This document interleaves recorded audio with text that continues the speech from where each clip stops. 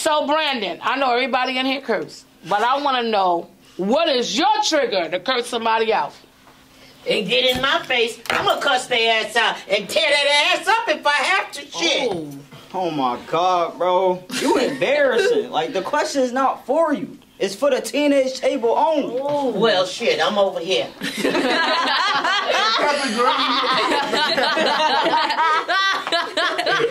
was okay. So, since Grandma answered his question, I need you to answer our question. Leah, Lily, what would you? What is your trigger to curse somebody out? I'm not gonna curse them. I'm just gonna talk to them because why is you cussing? I feel like that's not the respectful thing to do. You're lame. For real. I love it, Lily. Thank you for bringing us home. Okay, so Ashante.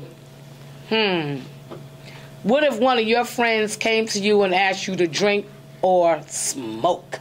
I'm gonna say yes. Let's do it. Yes, sir. Oh Right. Lord have mercy! Now hold on, little girl. You you going a little bit too damn far. Now sit your damn ass down.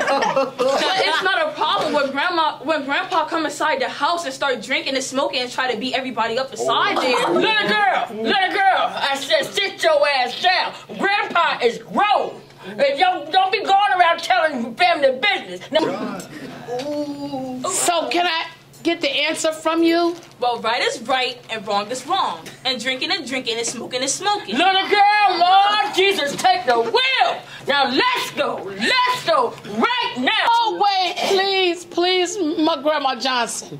Please Lord give her a chance to mercy. answer the right way. Lord Please answer the right way. Ashante. Right is right and wrong is wrong. Drinking is drinking and smoking is smoking. Yes, sir mercy. Jesus! I said, little girl, get your ass up and let's go. No. God. Little girl, oh Lord, I'm gonna lay hands on you and it ain't gonna be in praying hands either. God! Oh!